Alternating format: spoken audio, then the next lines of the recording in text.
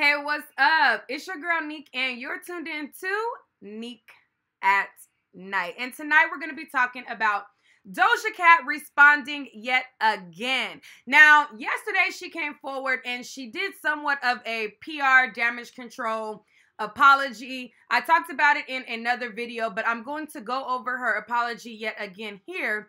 And then she also went live. So I'm going to react to her live video of her apologizing, and we're just going to get into it. If you guys have been living under a rock, then you probably are not aware that Doja Cat has been going or coming under fire because of some of the behaviors that she's had. People are not pleased with a song that she did called Didn't Do Nothing. I break that down in my previous video people were mad because she were she was in chat rooms and she was you know rolling around in the bed and she was doing what appeared to be some type of race play. People were also upset because she made comments about her hair texture that she was unpleased with her hair as many biracial and black women have done since i've known. But you know people had a big problem about that. Um, people had a lot of issues about different little things. And so besides, you know, her apology that she came up with with her PR, she was like, listen, y'all know that that wasn't me. Y'all know that that's not what I say. Let me just talk and let me just say it out of my own mouth. And so that's what she did. I haven't watched all of it. I've seen kind of like clips, but I tried to see like clips on the shade room. And then when I looked on the shade room, they kept cutting off like on certain points. And I'm like, why do they keep cutting off the video right here? Like, let me just look for it and let me just react to it because I'm like, this can't be all of it. So, anyways, um, so that's what I'm gonna do here. So first, let's read her apology that she had written up with her in her PR. So it says, I want to address what's been happening on Twitter. I've used public chat rooms to socialize since I was a child. I shouldn't have been on some of those chat room sites, but I personally have never been involved in any racist conversations. I'm sorry to everyone that I offended. So I'm gonna stop there. I've seen a few people make videos and they were like, oh my God, she was in these chats and she was a child and she was young and blah, blah, blah, blah, blah, blah, blah. I don't know about y'all, but I grew up in the MySpace era. Before MySpace, there was Black Planet. And before Black Planet, there was chat rooms. Um, when I was on Twitter, there was the chat rooms. And what she said about being on there since she was young, I feel like most of us have been on there that are a certain age. Like if you are in your late 20s or your 30s, you probably been in chat rooms and you probably been a part of the AIM. You know, you probably been a part of all of those things. And it's all kind of various of people who are in these chat rooms. I'm not making an excuse for her. I just don't like when people act like it's so bizarre. Like, oh my God, it's so bizarre that she was in a chat room. And I'm just like, I don't be in chat rooms now, but I'm not gonna sit here and act like I ain't never been on no chat room. Like that never was a thing. Like, I'm like, okay, so carry on. So, you know, she addressed the chat room part. Now, people were saying that it's a white supremacist chat room. I couldn't find where it was a white supremacist chat room because I seen that there were other black people in the chat. So I'm like, if it's white supremacists and it's like all this stuff, like why are black people involved in the conversation? So that part I really didn't understand.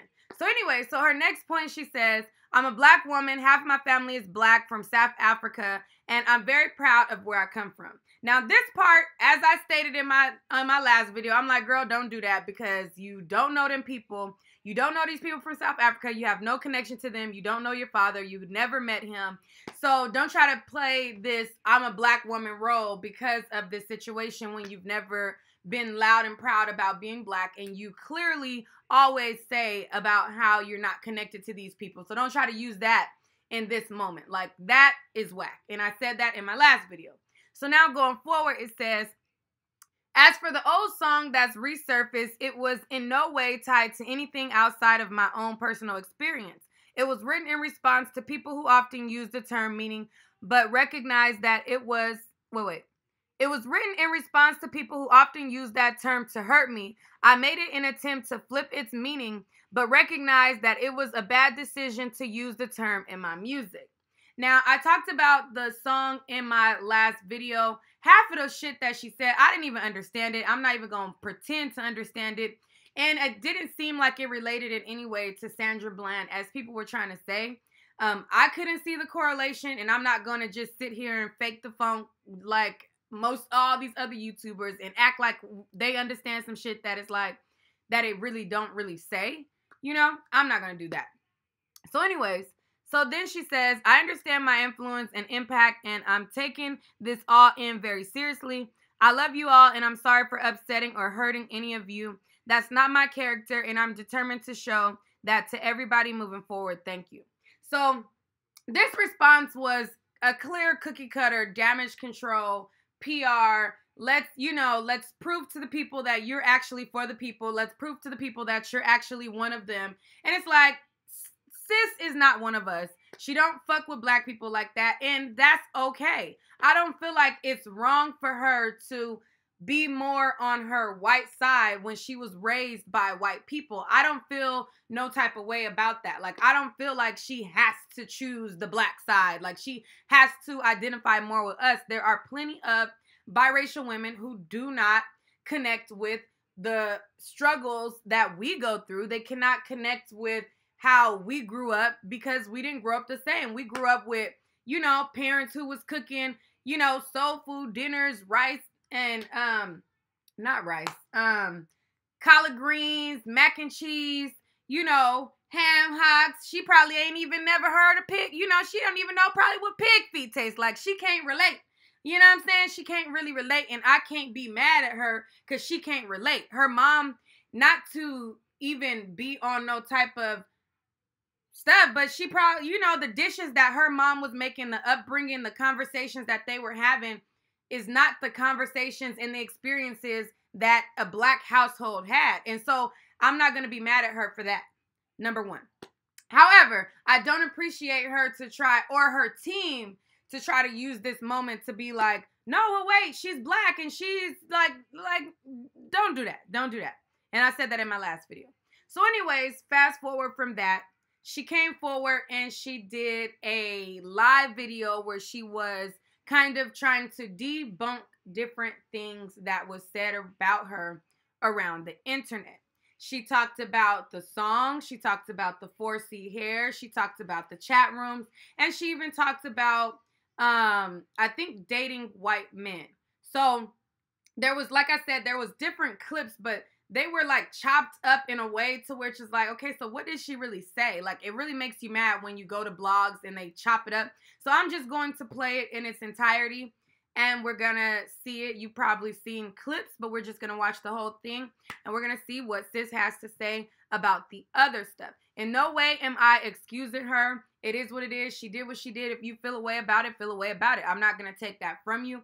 I'm just not going to act like I'm just, you know, outraged like other people are pretending because it's popular to do so.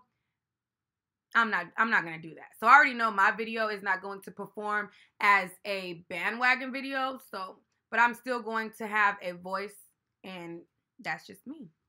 That's just that. Um so let's pull this up. Okay, so this is her right here.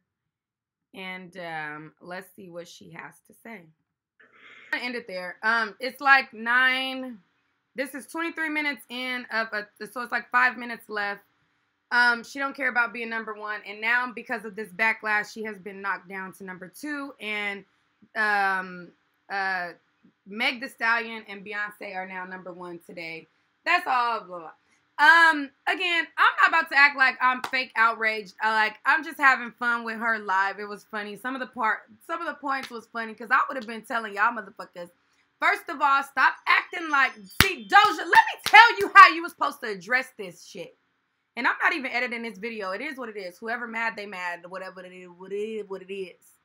Doja, I would have been like, first of all, first bullet point, because that's the first thing she said was the 4C here.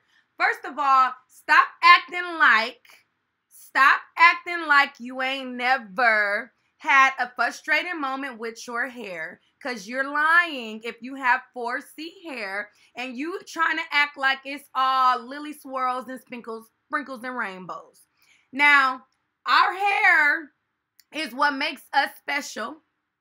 You know, this is our crown, honey. But I'm not going to front and I do get compliments about my hair because I have a beautiful mane. I have a beautiful head of hair. but I have been frustrated with my hair, and you're a liar if you act like you wasn't. Second bullet point. What was the second bullet point? The didn't do nothing. No, I'm not even gonna go there because I, I I didn't see how it was related to Sandra Bland. I would have been like, fuck out of here trying to twist my words. Nobody said nothing about police brutality or Sandra Bland. You guys are liars. And you just trying to do like, I'm like, y'all just trying to, y'all just trying to have some content or something. I don't know. All right. So third bullet point. I'm to skip over that one. White men. Fuck out of here. Fuck out of here acting like it's a problem for me to date a white man when half the NFL, half the NBA, half of baseball, half of well, it's not it's black people in baseball. Half of them people, they all date outside their race. But because it's me, because I'm a woman, and because, and more so importantly, not just that, I would have, not just, I would have because I'm a black, I would have played the black card right there. Because I'm a black woman, but more importantly, I'm a biracial woman. I have a white side and a black side. And I hang out with my white side. That's I didn't I didn't have my dad. I would have played the I didn't have my dad role right there. For real. I didn't have my dad. Like black guys wasn't around. Like I didn't go to school where black guys was. So I dated white guys. That's who I've been dating, and that's what it is. So fuck out of here. If you don't got a problem with X, Y, Z, uh, three, one, two, and motherfucking three, when they date white girls, don't have a problem with me. Fuck out of here. What was her next point? I don't know. I could have helped her out a little bit. I'm I'm uh, and again, I'm not about to say I don't do I think that she's gonna be canceled? No. Do I think that this made it better? No. Um I think I think, you know, if she would have just left it at the edited um PR thing, you know, it, you know, we the main hiccup we had with that was girl, don't try to claim black now when you ain't been claiming it. But I don't know. I don't know. It's funny. I'm not editing this. It is what it is. This is a one take um thing, and you know, it is what it is. I really don't know what to say. This is it is what it is. If you're not subscribed to my channel, be sure to hit that subscribe button right now. Um, many of your faves will hop on a bandwagon and they will look and scan the comments and read how you guys are reacting and they'll react that way. I'm not gonna do that. I'm gonna react how I react.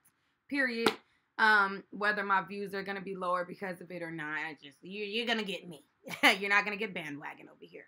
Um, so make sure to hit the subscribe button if that's what you like. Um, if not, then you know, go to the herd. um, uh, what else? Um, yeah, but I mean, support who you want to support at the end of the day. Doja don't really fuck with black people like that. Let's like we're just gonna be honest about it.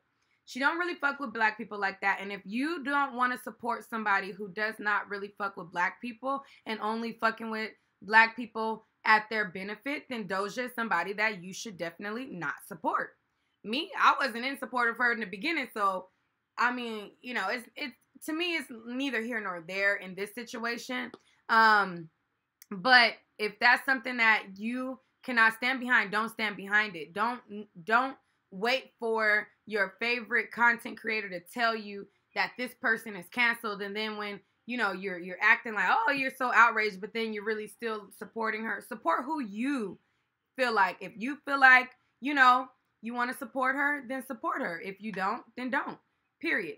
Um cancel culture i feel like we are not even her main audience. I feel like we helped her get to the next stepping stone as black people but I feel like her main core appeal was white people from the start. That moo cow when she made that, you think she was making that for us? No. She was appealing to white people. Her main audience is the people who she surrounds herself around. That is what she is identifying with. And I feel like she's just gonna go back to that. I'm surprised she didn't have an afro in her live. I would I would have I would have had the afro going and everything. But then we would have definitely called her out on it. So maybe that's good that she didn't do it because I would have been like, girl, don't try to come out here with that. but um, that's all for this video. Um, let me know what else you guys want me to react to. If you guys want uh, me to react to something, and let me know what other stories you'd like me to cover. With that being said, oh, the girls is looking nice today. Okay, okay. let me see who I could FaceTime. What little I need to I, I, I need to pull out my little black book while the girls is sitting nice like this and make a few phone calls. No, I'm just kidding. um, nah. All right. Peace, y'all.